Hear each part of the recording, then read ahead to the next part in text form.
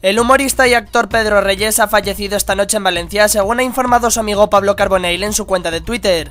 Era un gran cómico y una buena persona, descansa en paz, ha escrito Carbonell en la red social. Triste noticia que posteriormente ha confirmado su representante.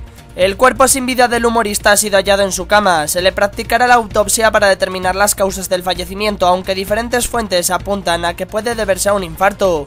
Pedro Reyes, que nació en Tánger, era conocido especialmente por su trabajo en televisión.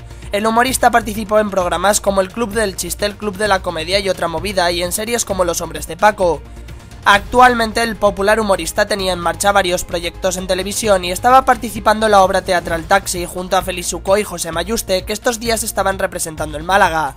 Una de sus últimas apariciones televisivas fue en el programa de Antena 3 Me Resbala y en el programa de Telecinco Pasapalabra, donde gracias a distintas y originales pruebas demostró su ingenio y capacidad humorística.